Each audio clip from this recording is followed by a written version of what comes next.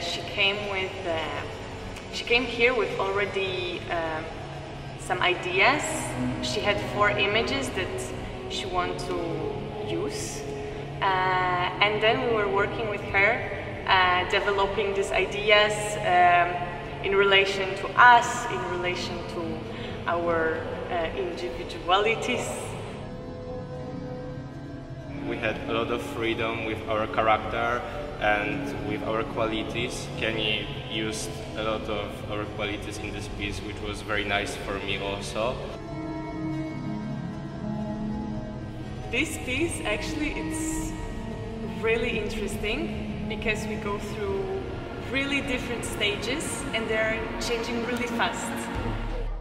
We, are, we were pushing a lot with energy.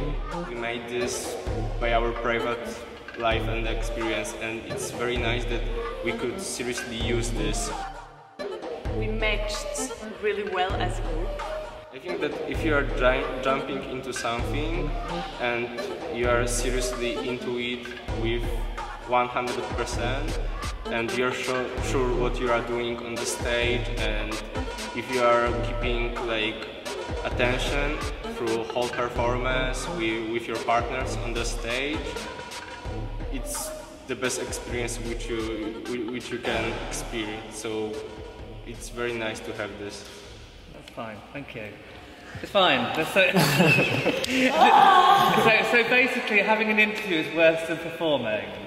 Yeah? yes